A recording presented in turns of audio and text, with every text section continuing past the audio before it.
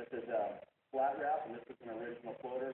We've been having really good luck on this bait. This is a Rapala BX Plymouth. It's got a, just a beautiful finish to it. Comes in a boxes. This is a Storm WildEye Swim Shad, and it looks like a little whitefish gill. They're just burning the water. The one material that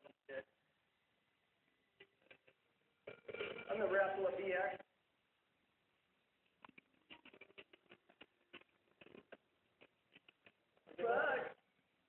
big one? About the brother, the brother of the one you just shot. Okay. Fish. Uh, pretty fun with. The middle bait like that was great. All you gotta do is reel down the get buck. Dave, I think I did okay. I can do Or not.